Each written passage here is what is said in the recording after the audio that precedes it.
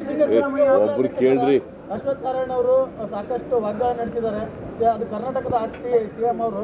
ಅವ್ರು ವೈಯಕ್ತಿಕವಾಗಿ ಬಿಡಕ್ ಬರಲ್ಲ ಅಂತ ಹೇಳ್ತಿದ್ದಾರೆ sir. G twenty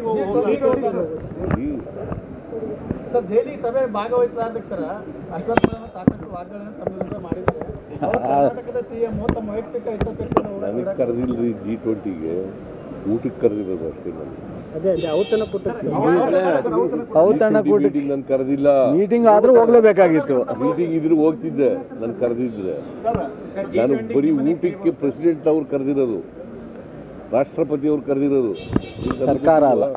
ನಾನು ಜಿ ಟ್ವೆಂಟಿ ಮೆಂಬರಾ ಸರಿ ಇಂಡಿಯಾ ಒಕ್ಕೂಟದ ಸರ್ ತಮ್ಮ ಆಪ್ತರೆಲ್ಲ ಹೇಳ್ರಿ ನಾನು ಜಿ ಟ್ವೆಂಟಿ ಮೆಂಬರಾ ಅಲ್ಲ ಸರ್ ರಾವಣಿದ್ರು ಹೋಗಿಲ್ಲ ಅನ್ನೋದಕ್ಕೆ. ಊಟಕ್ಕೆ ಯಾಕಪ್ಪ ಮಾತಾಡ್ತೀಯಾ?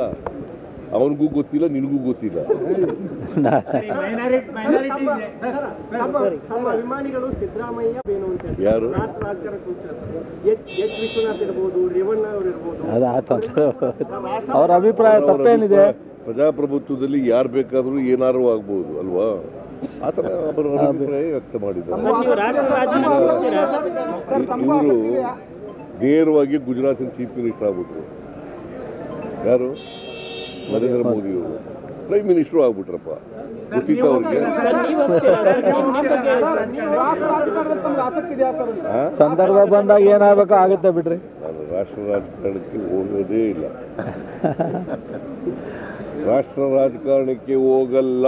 ಹಣೆ ಬರ ಇದ್ರೆ ತಪ್ಸಕ್ ಆಗಲ್ಲ ಲೋಕಸಭಾ ಚುನಾವಣೆ ಬಂದು ಏಕೈಕ ಲೀಡರ್ ಸಿದ್ದರಾಮಯ್ಯ ಅಂತಿದ್ದಾರೆ ಎಲ್ಲರೂ ಏನಿಲ್ಲ.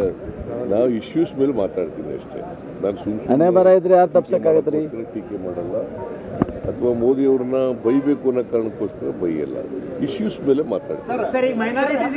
ವಿಧಾನಸಭೆ ಚುನಾವಣೆ ಟೈಮ್ ಹಲಾಲ್ ಇರ್ಬೋದು ಹಿಜಾಬ್ ಇರ್ಬೋದು. ಈಗ ಹಿಂದುತ್ವ ಸನಾತನ ಧರ್ಮ ಬರ್ತದೆ ಏನು ಸರ್? ಕೋರ್ಟ್ನಲ್ಲಿ ಇದೆಯಪ್ಪ ಅದು. ಕೋರ್ಟ್ ಕೋರ್ಟ್ನಲ್ಲಿದೆ ನಿನ್ನೆ ಕ್ಯಾಬಿನೆಟ್ನಲ್ಲಿ ಒಂದು ತೀರ್ಮಾನ ಮಾಡಿದ್ದೀವಿ. ಕರ್ನಾಟಕ ಹ್ಯಾಂಡ್ಲೂಮ್ ಕಾರ್ಪೊರೇಷನ್ನು. ಬಟ್ಟೆ ಕೊಟ್ಟಿದ್ರು ವಿದ್ಯಾ ವಿಕಾಸ ಕಾರ್ಯಕ್ರಮಕ್ಕೆ ಅದು ಕಳಪೆ ಕೊಟ್ಬಿಟ್ಟಿದ್ದಾರೆ ಅಂತೇಳಿ ಅದನ್ನು ತನಿಖೆ ಮಾಡಬೇಕು ಅಂತೇಳಿ ಮಾಡಿದ್ದೀವಿ. ಮತ್ತು ಕಳಪೆ ಕೊಟ್ಟು ದುಡ್ಡು ಪೇಮೆಂಟ್ ಆಗಿಬಿಟ್ಟದೆ. ಆ ದುಡ್ಡು ರಿಕವರ್ ಮಾಡಬೇಕು ಯಾರು ಜವಾಬ್ದಾರಿ ಇದ್ದಾರೆ ಅವ್ರ ಮೇಲೆ ರಿಕವರ್ ಮಾಡಬೇಕು ಅಂತ ಮಾಡಿದ್ದೀವಿ. ಎಂ ಡಿ ಸಸ್ಪೆಂಡ್ ಮಾಡಿದ್ದೀವಿ. ಎಂಕ್ವೈರಿ ನಡೀತಾ ಇದೆ. ಆಮೇಲೆ ಸಿದ್ದು ಸೌದಿಯಾಗ ಹ್ಯಾಂಡ್ಲೂಮ್ ಡೆವಲಪ್ಮೆಂಟ್ ಕಾರ್ಪೊರೇಷನ್ ಚೇರ್ಮನ್ ಆಗಿದ್ದು ಯಾರು ಜವಾಬ್ದಾರಿ ಇದ್ದಾರೆ ಅವ್ರ ಹತ್ರ ವಸೂಲು ಮಾಡಬೇಕು.